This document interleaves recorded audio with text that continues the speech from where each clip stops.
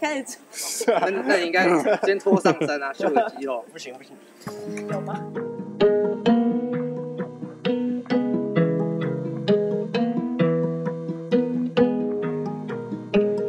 其实觉得超焦虑、超紧张的啦，因为其实那个要怎么上身那个想法是我自己提的，但我知道我自己身材没有到很好，但是我觉得这是我的身体，然后当然我想要呈现的东西就是这样。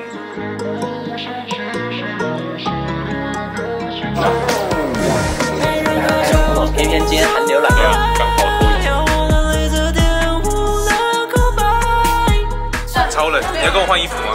不要好了，我穿这个拍好像 你要去超度。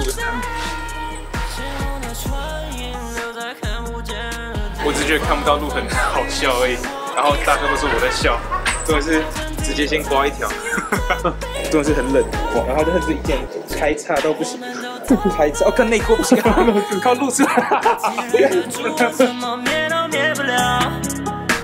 Cause life is fucking toxic，对你的迷恋怎么解导演觉得倒数这一趴拍怎样？哎、我觉得拍的还蛮不错的，跟我想象的有七十八分，只有七十趴，所以来演花园，我吞下了恶魔的故事，在用他们他妈的手解开你的项链，靠近我温润的身体，臣服于脱序的夜晚 is anarchy，品尝我手上的痕迹，节奏变化的很快速，谁会等你？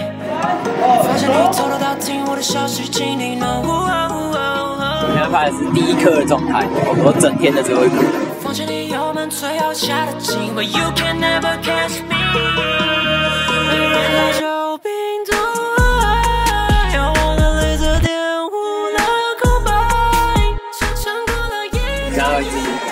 催眠自己，我现在没有很冷，你刚才只脚直接踩在那上面的感受，你快要爆炸？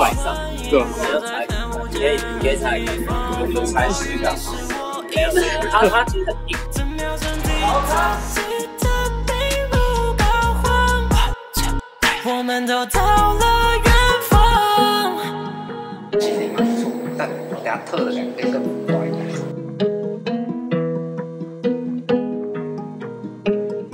其实创作概念就跟 JJMB 的概念差不多，就是因为那一阵子蛮常跑跑夜店场，然后就是常看到，可能我们在我们在艺人包厢就会看到下面的 A 开始在大家喝酒，然后跳舞，然后有的有些人就开始暴打这样，然后我就觉得说，好像在长大的过程很容易遇到一些诱惑，不管是酒瘾啊，或者是性啊，或者是贪，有这么多诱惑，那就要提醒自己，不能忘记自己的初衷。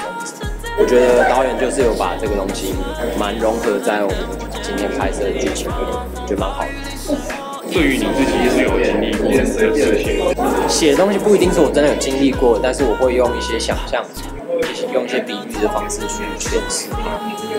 可能真的有受到这些诱惑，可是就是写这首歌就是提醒自己这样，正能量歌曲。对你的迷恋怎么戒都戒不了。Oh yeah, you really drive me crazy. Oh tell me, just 那一排的香水，got me feeling 来演花园。我吞下了恶魔的故事，在先进入一个发呆模式，然后什么都不会动，累了。累了，然后可以做那跟那个第一颗的状态做对比，你知道吗？第一个，然后就关机，关键是待机中。放弃你油门最好下的紧，But you can never catch me。